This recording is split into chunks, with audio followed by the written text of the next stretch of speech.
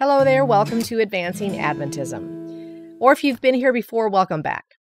Now, if you're an SDA, you've probably heard of the 1888 message, and you know that it's referred to as justification by faith or righteousness by faith. And you might even know that there was a whole lot of controversy over the message when it was first presented at the General Conference session in the fall of 1888. But you know, a lot of SDAs haven't necessarily delved very deeply into what the message was about. And so, you know, there still might be a lot of uncertainty as to the core of the 1888 message. So in this video, we're going to make it very simple. And by the end, you should walk away with just a very clear idea of what the core of the 1888 message is. Now, here are the three 1888 messengers E.J. Waggoner, A.T. Jones, and Ellen White. And a lot of SDAs might not think of including Ellen White as one of the 1888 messengers. But we can see from statements that she made herself that she had been teaching this same message as well as Waggoner and Jones. She says here Elder E.J. Waggoner had the privilege granted him of speaking plainly and presenting his views upon justification by faith and the righteousness of Christ in relation to the law. This was not new light to me, for it had come to me from higher authority for the last 44 years. Of course, this was written in 1888, so that takes you back to 1844. And she says, And I had presented it to our people by pen and voice in the testimonies of his spirit. So there we see from her that she was teaching justification by faith. And here's also a brief statement from her grandson, Arthur White, in his biography of Ellen White, where he's talking about the history related to um, what followed after the 1888 General Conference. And he said, It was now clear that those whose hearts were fired with the light revived at Minneapolis. And of course, Minneapolis is where the General Conference was held that year. Okay. So he says, uh, those whose hearts were fired with the light revived at Minneapolis would have to work around the prejudice of some of the leaders who had long resided in Battle Creek and take the message to the churches. And take it to the churches, Ellen White and A.T. Jones did. So there we see Arthur White also including Ellen White as one of the 1888 messengers. Now, Ellen White and E.J. Waggoner and A.T. Jones uh, wrote and spoke a lot about the message of justification by faith in the years following 1888. And um, they were all teaching the same thing as we're about to see from the quotes we're going to cover. Now, we'll start with this statement from Ellen White. And in this short statement, she provides, in a nutshell, what the 1888 message is. Okay. Now, she starts off by saying, The Lord, in his great mercy, sent a most precious message to his people through elders Waggoner and Jones. It presented justification through faith in the surety. It invited the people to receive the righteousness of Christ, which is made manifest in obedience to all the commandments of God. Okay, so for a moment, we're just going to focus in on the darker text. And as you can see, the 1888 message is about justification through faith. And there's a whole lot to say about justification by faith, and we'll talk about more of those aspects in other videos on this channel. But in this video, we're doing something very specific. We are just focusing in on what the 1888 message teaches about what justification is. Okay, so the first thing to take note of from Ellen White's statement is that this darker section, um, she's basically saying things, the same sort of thing in two different ways. First, she says the 1888 message presented justification through faith in the surety. And then notice in the second clause, it starts to explain a little bit more about what justification is. She says, it invited the people to receive the righteousness of Christ. So, this second clause basically says the same thing as the first clause, but it's starting to explain now what it means to be justified. Okay, namely, it means to receive the righteousness of Christ. Now, that's a significant point to take note of. It's not about the righteousness of Christ being applied to someone's account or, you know, applied to the record books or anything like that. It's about the people as individuals receiving the righteousness of Christ, receiving justification. Now, and what does it look like to receive the righteousness of Christ? This last clause now in the blue explains that. She says, receiving the righteousness of Christ is made manifest in obedience to all the commandments of God. So, again, it isn't just about something being done in theory, right? As we'll see throughout the rest of this video, receiving justification is something very practical. It's not something theoretical. Now, in these statements, notice what she says there at the top, what Ellen White says. Through his grace, they are justified, made righteous. And every soul to whom Christ has imparted his righteousness is under solemn obligation to practice that righteousness. Now, notice what she says about being justified. She says being justified is to be made righteous. Again, notice it's not about something uh, or someone being declared righteous, it's being made righteous. Now, often people um, think that justification is when God declares one to be righteous, and sanctification is being made righteous, right? But that's not what she's saying here. She's saying justification is being made righteous. It's also having the righteousness of Christ imparted to us. Now, here again, uh, this isn't just about being considered righteous, it's about receiving righteousness in practical reality. Now, we can see that this is really in practical reality because uh, it's not something optional, it's obligatory, right? We're under solemn obligation to do something, to practice that righteousness. Now, just to make this super clear, when she says uh, to be justified is to be made righteous, righteousness isn't like a special glow of holiness or anything like that. It's actually uh, right doing. She says righteousness is right doing and it is by their deeds that all will be judged. Okay. Now, lastly, it's really, really clear that she's talking about actually being changed into a right doer because she says his or Christ's righteousness is only imputed to the obedient. Now, this shows that Ellen White rejected the idea that being justified is a mere declaration that someone is now righteous, right?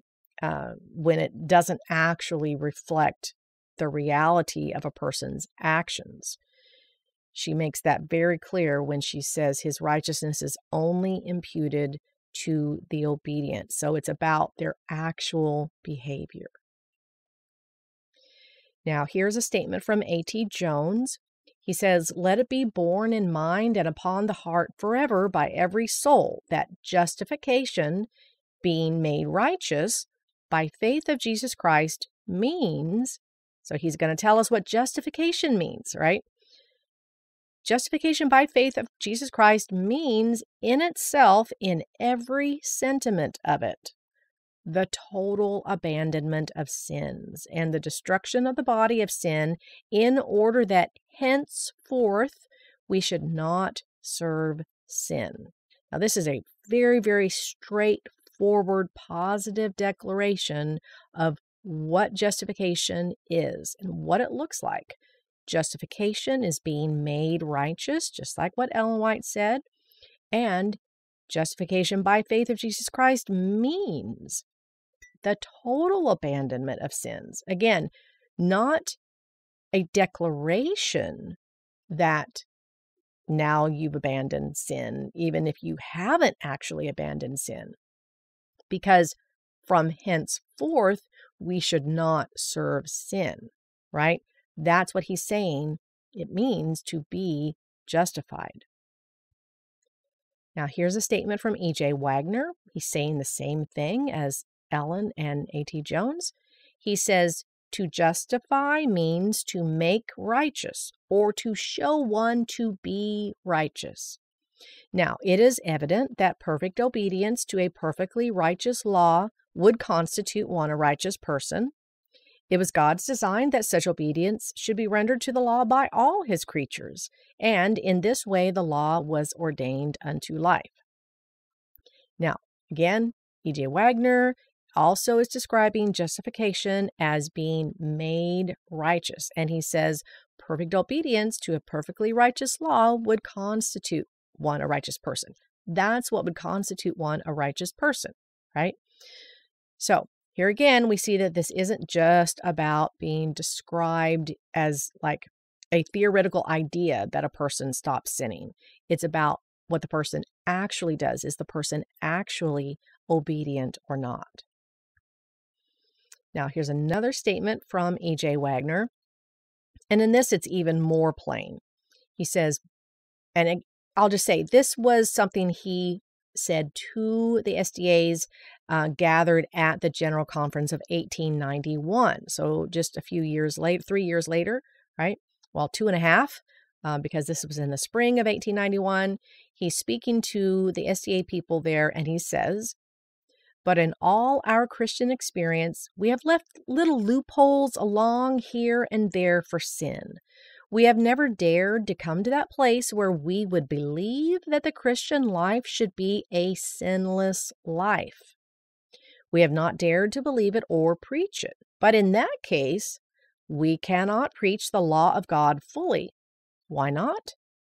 Because we do not understand the power of justification by faith. Now, here again, we see one of the 1888 messengers explaining what it means to be justified. The Christian life should be a sinless life. That's the power of justification by faith. It's just like what Jones said, um, it's the total abandonment of sins. And Ellen White said about uh, receiving Christ's righteousness is made manifest by obedience to all of God's commandments, right? So,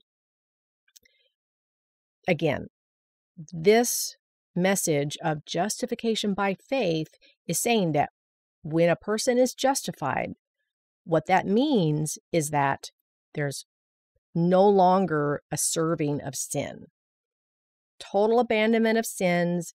Christian life should be a sinless life in practical reality, not in theory. Now, we're going to see um, some more statements that really overtly make it plain that this is practical, not theoretical. And we're going to start with a statement from E.J. Waggoner from Christ and His Righteousness, page 65. And I'm going to make sure to have links to important resources in the description, including a link to this book. So uh, you'll be able to read it freely and all that. Um, Always keep in mind to check out the descriptions for our videos. We try to really um, provide good resources to get a person started in doing further investigation into the topics that we're covering in our videos. So, again, we're going to be looking at statements that really spell out that this transformation that takes place at justification is practical, it's not theoretical. Okay, so here's what he says and so we find that when Christ covers us with the robe of his own righteousness, he does not furnish a cloak for sin, but takes the sin away. And you know, I, I forgot to mention that this is right after he has quoted from Zechariah chapter 3, where it's describing Joshua the high priest who had been filled, uh, clothed with filthy garments, and then had the filthy garment taken away, and then was given a, a clean, a pure robe right? So this is what he's relating. And then he goes on to say, So we find that when Christ covers us with the robe of his own righteousness, he does not furnish a cloak for sin, but takes the sin away. Okay. He then adds, and this shows that the forgiveness of sins is something more than a mere form, something more than a mere entry in the books of record in heaven to the effect that the sin has been canceled. So it's more than all of that, right? It's not theoretical, it's more than just in theory. He says the forgiveness of sins is a rea- uh, reality. So it's practical, okay? It is something tangible, something that vitally affects the individual. It actually clears him from guilt. And if he is cleared from guilt, is justified, made righteous, he has certainly undergone a radical change. Okay, so here we go. He's explaining that it's not about some some record being applied to a person's account. You're actually cleared from guilt and then if you're justified, if you're made righteous, you've undergone a radical change. Justification doesn't allow for sin. It doesn't furnish a cloak for the sin that remains or whatever. That's not the depiction in Zechariah 3, and it's not what the 1888 messengers were teaching about what it means to be justified. They're saying very clearly Jesus doesn't furnish a cloak for your sin. It's way better than that. He takes the sin away and then gives us his own robe of righteousness. It actually clears us from guilt. We're justified, made righteous. We've undergone a radical change. Okay? Now, here's a statement from A.T. Jones. Again, showing that justification, being uh, made righteous, is not theoretical. It's something practiced out in the life. He says, The Lord Jesus did not come into the world to minister to sin, but altogether to save from sin. Okay. He says, Sin is the transgression of the law of Ten Commandments. Okay. So we're all familiar with that definition of sin, right? Sin is the transgression of the law of Ten Commandments. And as the Lord Jesus came to save men from sin, in the nature of the case, he came to save men from the transgression of that law. Right now, this quote um, extends over the next couple of slides too. So we'll just keep that in mind. But first, before I move on, I'll just add a little bit here. Just notice here that he's saying, okay, Jesus came to save from sin. What is sin? Sin is the transgression of the law. So if Jesus came to save us from sin and sin is the transgression of the law, that means Jesus came to save us from transgression of the law. Okay. So again, practical, right? Not theoretical. He goes on to say, therefore, if while we seek to be justified by Christ, we ourselves also are found sinners, transgressors of the law of Ten Commandments, does Christ sanction that? God forbid. Does he justify men in order that they may be free to transgress the law? God forbid. Does he save men from sin in order that they may continue in sin? God forbid. Do we believe in Jesus in order that we may continue to be sinners? God forbid. Do we seek to be justified, made righteous, by Christ in order that we may continue to sin? God forbid. And let all the people forever say, Amen.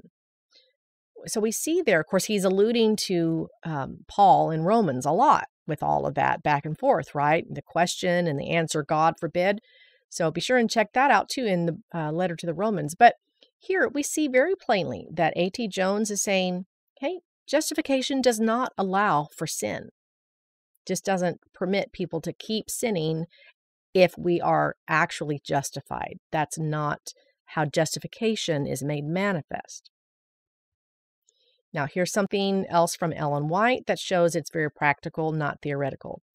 She says, No one can believe with the heart unto righteousness and obtain justification by faith while continuing the practice of those things which the Word of God forbids or while neglecting any known duty. So she's saying that if we're continuing to violate God's law, do something that the Word of God forbids, we can't receive justification by faith. That's not going to mesh. So it's uh, it, now if it was just a theoretical thing, it would allow for sin to be there, you know, here or there. But the 1888 messengers were, were saying that no, it doesn't allow for any of that. We, we can't leave little loopholes along here and there for sin. It's uh, justification is a total abandonment of sins. Now, this is continuing that same uh, quote. It's going to continue over the next few slides. She, she goes on to say, Genuine faith will be manifested in good works, for good works are the fruits of faith. As God works in the heart and man surrenders his will to God and cooperates with God, he works out in the life what God works in by the Holy Spirit. And there is harmony between the purposes of the heart and the practice of the life. So obviously there the statement about genuine faith will be manifest in good works is pretty obvious. Um, that's very practical. It's not just theoretical. It's not just um, uh, believing, you know, having faith despite whether or not you're manifesting that by your works. Genuine faith is manifested by works. That's what genuine faith would do. Those are just the fruits of faith. And when that happens and there's this cooperation between us and God, when we have the purpose in our heart that we want to stop sinning, the practice, what we do in our life, will match that purpose. There, there will be harmony when we have received justification. Every sin must be renounced as the hateful thing that crucified the Lord of life and glory, and the believer must have a progressive experience by continually doing the works of Christ. It is by continual surrender of the will, by continual obedience, that the blessing of justification is retained. Now, these are really, really important statements. It really shows that this is not in theory. It's it's not just a some writing in in the books of records, right? It's not just some entry in the books of records. Every sin must be renounced, so it doesn't allow for any sin. Sin is that hateful thing, right? That crucified Christ.